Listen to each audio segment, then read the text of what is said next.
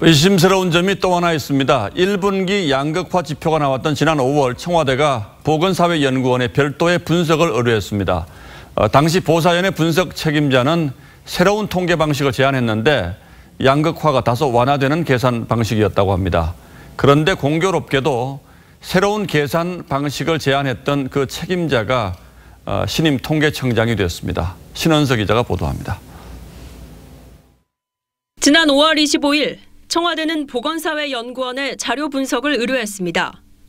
통계청에 1분기 가계소득 자료를 보냈고 이틀 뒤 회신을 받았습니다. 회신 결과는 청와대가 반길만 했습니다. 조사 방식만 바꿔도 양극화가 덜한 것으로 나타난다는 겁니다. 새 방식은 가처분 소득 집계에서 퇴직금이나 자녀가 주는 용돈 등 비경상 소득을 제외했습니다. 이렇게만 해도 애당초 12.8% 감소로 집계됐던 하위 20%층의 소득이 2.3%만 감소하는 것으로 바뀌었습니다.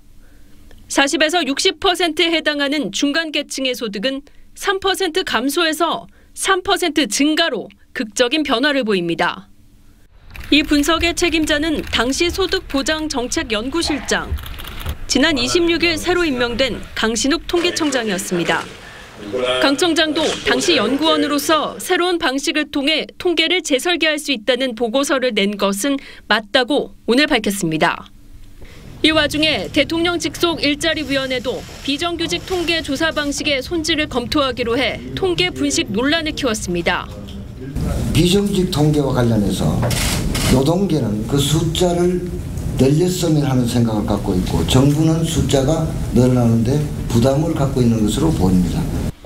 시간제 근로자는 모두 비정규직으로 처리되는 항목을 정교하게 바꾸기로 했는데 새 방식에 따르면 정규직으로 파악되는 근로자 수가 바뀔 수도 있다는 분석입니다.